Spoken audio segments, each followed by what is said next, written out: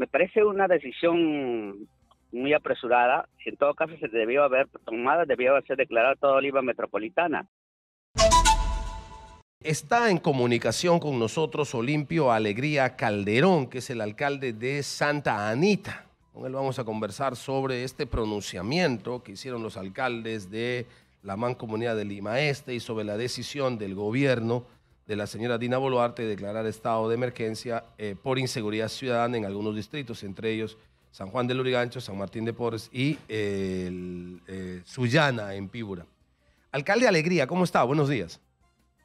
Buen día, Rosas. Gracias por la entrevista. ¿Qué, qué, reacción le genera? ¿Qué, opinión tiene de esta, de esta decisión de declarar eh, solo estos dos distritos de los 43 que tiene la capital de la República en estado de emergencia por inseguridad ciudadana?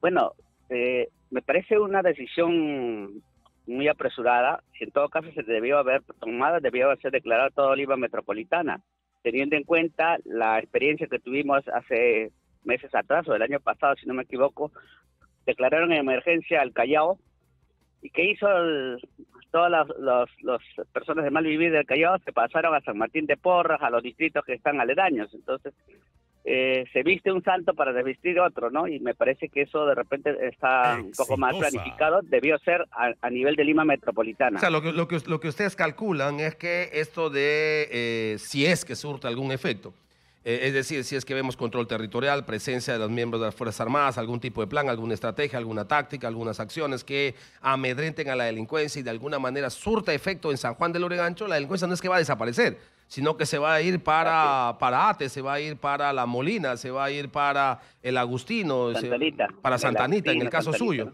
¿no? Así es.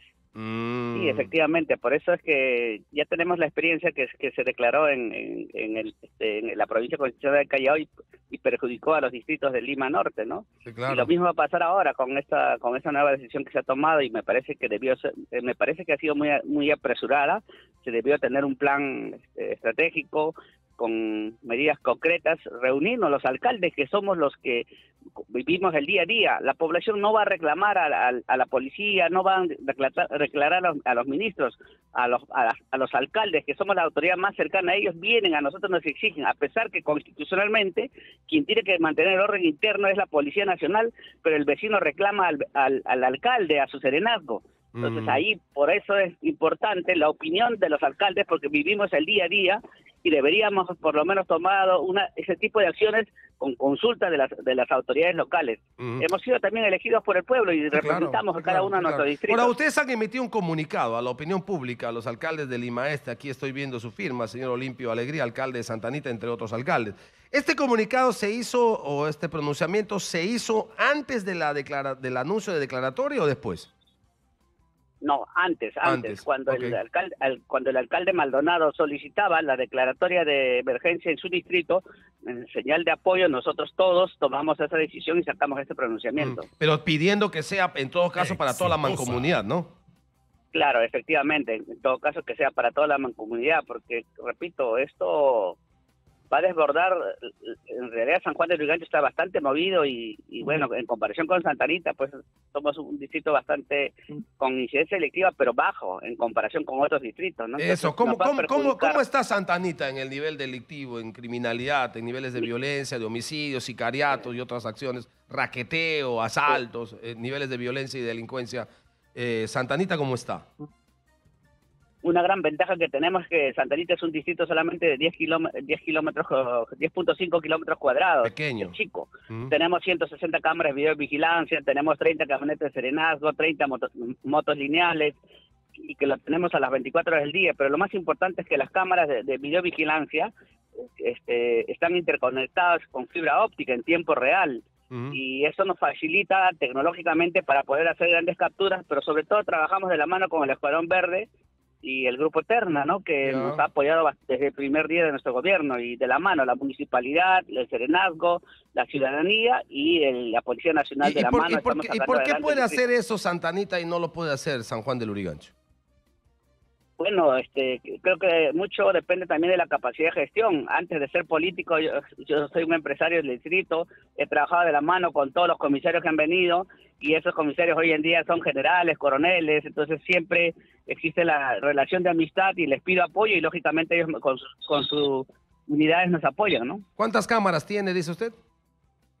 160 cámaras y actualmente esta última semana hemos, hemos eh, inaugurado 10 más, o sea, 170 pero, Pero, es una cosa increíble que ustedes tengan 170 cámaras siendo un distrito tan pequeño, debe ser como 8 veces más grande San Juan de Lurigancho, según el jefe de la región policial de Lima, San Juan de Lurigancho tiene 25, máximo 30 cámaras funcionando, o sea, hay una diferencia, pero eh, eh, abismal.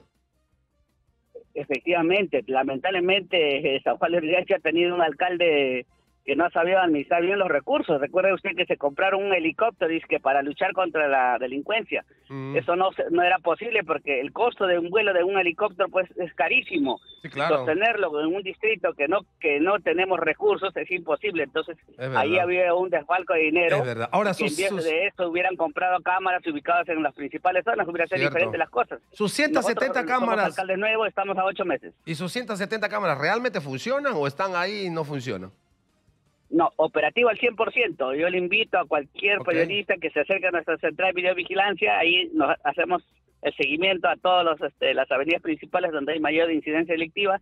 Estamos atentos a las 24 horas del día. ¿Cómo está la relación de ustedes, los alcaldes, en el tema concreto de seguridad ciudadana con el alcalde de Lima Metropolitana, con el señor López Alea, que ha prometido, entre otras cosas, 10 mil motos y más para convertir a Lima en la ciudad más moderna y por supuesto en potencia mundial. ¿Cómo avanza la coordinación, la planificación, la articulación para una respuesta metropolitana a este problema?